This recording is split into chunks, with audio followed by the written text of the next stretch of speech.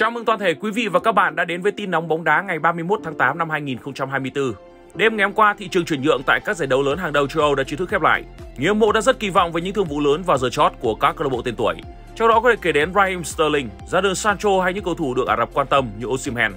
Hãy cùng mở đầu bản tin sáng nay bằng cách cập nhật những diễn biến cụ thể trong những giờ cuối cùng của thị trường chuyển nhượng tại lục địa già. MU chính thức công bố Ugarte sau quãng thời gian dài đàm phán giữa hai câu lạc bộ, Manchester United và Paris Saint-Germain đã đạt thỏa thuận cho thương vụ Manuel Ugarte. Mức phí chuyển nhượng dự kiến rơi vào khoảng 60 triệu euro. Trong những giờ cuối cùng trước kỳ chuyển nhượng đóng cửa, Manchester United đã xác nhận Manuel Ugarte đã ký hợp đồng 5 năm với đội chủ sân Old Trafford đến tháng 6 năm 2029, đi kèm với đó là tùy chọn gia hạn thêm một năm.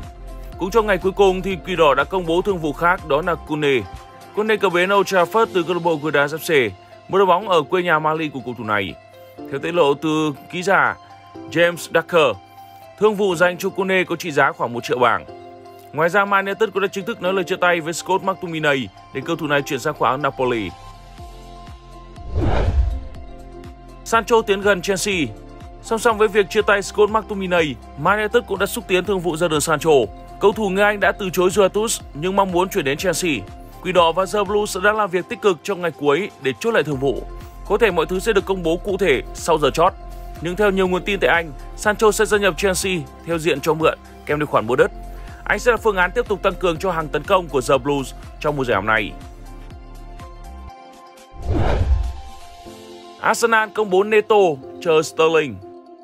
Pháo thủ đã chính thức chia tay thủ môn Ramsdale sau khi anh này chuyển sang khóa câu lạc bộ Southampton. Ở chiều ngược lại, pháo thủ đã chiêu mộ thành công Neto từ Bournemouth theo dạng cho mượn. Thủ môn 35 tuổi, người Brazil sẽ là phương án dự phòng cho David Raya tại Arsenal. Nhưng điều được chờ đợi hơn cả đó là trong giờ chót với Arsenal, thương vụ mang tên Raheem Sterling đã xuất hiện. Cho đến những giây cuối cùng của kỳ chuyển nhượng, các nguồn tin tại Anh đều đồng loạt khẳng định thương vụ Raheem Sterling đến Arsenal theo diện cho mượn đang rất gần.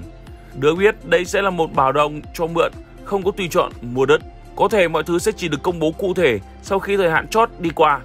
Nếu như các bên kịp hoàn thành giấy tờ và gửi đến ban tổ chức ngoại Anh theo đúng quy định đây có thể sẽ là bom tấn phút chót của kỳ chuyển nhượng tại Anh. Inter thắng đậm Atalanta Đêm qua Inter Milan ra sân tại vòng 3 Serie A gặp Atalanta. Nhà đương kim vô địch không gặp nhiều khó khăn để khẳng định sức mạnh của mình. Họ hai lần ghi bàn vào lưới của đối thủ trong hiệp 1 và hiệp 2 cũng có được kết quả tương tự để giành chiến thắng chung cuộc 4-0. Marcus Thuram là cầu thủ đã lập cú đúp trong trận đấu này. Bên cạnh một thắng của Baila, Inter thắng 4-0 và khẳng định sức mạnh trước nhà vô địch Europa League mùa giải vừa qua.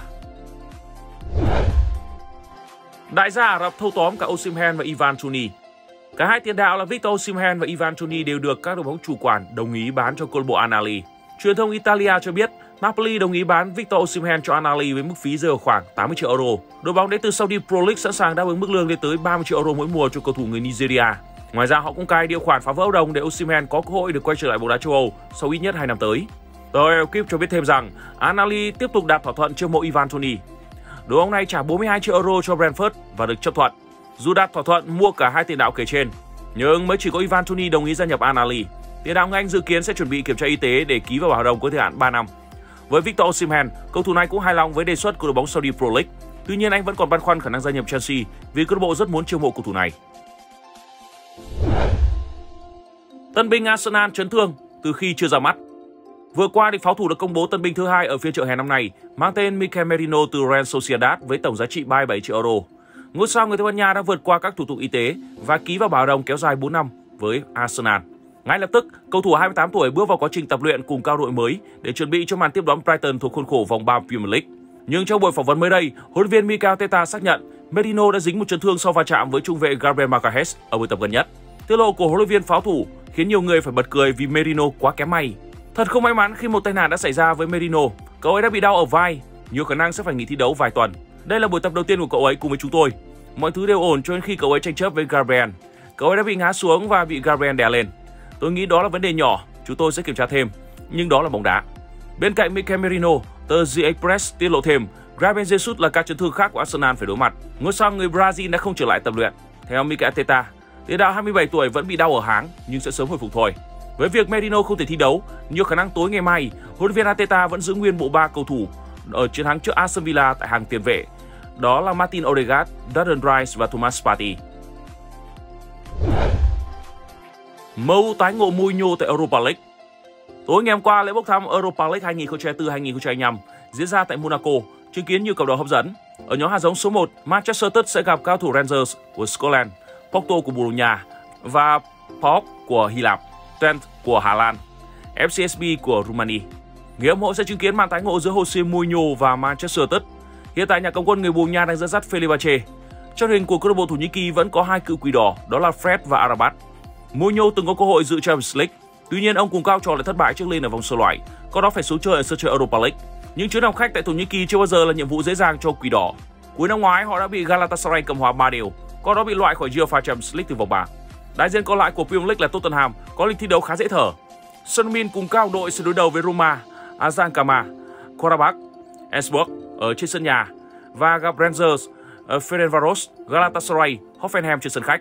Cũng như Champions League, Europa League sẽ được bốc thăm theo thể thức tương tự như hệ Thụy Sĩ. Mỗi đội có lịch thi đấu riêng, gặp 8 đối thủ với 4 trận sân nhà và 4 trận sân khách. Chelsea gặp toàn đối yếu. Tiếp nối Champions League và Europa League, tối ngày hôm qua, lễ bốc thăm vòng bảng UEFA Conference League cũng đã chính thức được diễn ra tại khán phòng ở Monaco. Thưa quý vị, hầu hết sự chú ý đều đổ dồn về bảng đấu có sự hiện diện của Chelsea, ứng viên sáng giá nhất cho chức vô địch. Được xếp vào nhóm dấu số 1, đoàn quân của huấn viên Maresca đã né được toàn những đối thủ khó nhằn trong nhóm này như Fiorentina hay Real Betis và chỉ phải đụng độ Genk, một đội bóng đến từ giải vô địch quốc gia Bỉ. Thậm chí Chelsea còn có cho mình một lợi thế rất lớn khi tiếp đón Genk ngay tại thánh địa Stamford Bridge thay vì hành quân đến sân của họ. Bên cạnh Genk thì uh, Chelsea sẽ đụng độ với cao thủ Shamrock Rovers, nhóm giống số 4, và nhóm giống số 6 trên sân nhà. Ba trận sân khách của The Blues sẽ diễn ra trước cao thủ Heidenheim ở nhóm 2, Astana nhóm 3 và Panathinaikos ở nhóm 5. Nhìn chung đây là những đối thủ rất vừa miếng để Chelsea giành chọn điểm số. Năm nay, vòng bảng Conference League sẽ được diễn ra theo thể thức mới. 8 đội có thứ hạng cao nhất sau 6 trận sẽ giành quyền vào vòng 1/8. Các đội có thứ hạng từ 9 đến 24 sẽ bước vào vòng playoff để xác định 8 đội đi tiếp. Luoku vừa chuyển nhượng đã mất suất tuyển Bỉ. Luoku là cầu thủ ghi nhiều bàn thắng nhất mọi thời đại của đội tuyển Bỉ với 85 pha lập công sau 119 lần ra sân. Tuy nhiên anh đã không ghi được bàn thắng nào ở cả vòng chung kết World Cup 2022 lẫn Euro 2024. Mới đây Luoku đã đoàn tụ với ông thầy cũ đó là Conte tại Napoli. Dù vậy anh sẽ không thể cùng đội tuyển Bỉ chinh chiến tại Nations League sắp tới. Với việc Luoku không được gọi thì Luis Openda của câu lạc bộ Leipzig, hai trường hợp Ketelaes của Atalanta và cầu thủ trẻ Duravin của Borussia Dortmund là những viên có thể sẽ dẫn ra hàng công của bảy quỷ đỏ. Trong khi đó, thủ thành Courtois vẫn vắng mặt vì mâu thuẫn giữa anh và huấn luyện viên Tedesco vẫn chưa được giải quyết. Đầu tháng này, thủ thành đang thuộc biên chế của Real Madrid đã tuyên bố anh sẽ không trở lại khóa đội tuyển Bỉ khi mà Tedesco vẫn nắm quyền. Lần gần nhất Courtois ra sân cho đội tuyển Bỉ là vào tháng 6 năm 2023 trong trận hòa một đều với Áo tại vòng loại Euro 2024. Thưa quý vị và các bạn, chi tiết vừa rồi cũng đã khép lại tin nóng bóng đá ngày hôm nay của TVS Vlogs. Cảm ơn toàn thể quý vị và các bạn đã quan tâm theo dõi. Xin chào, hẹn gặp lại ở những tin nóng tiếp theo của ekip Tiền Văn Hóa.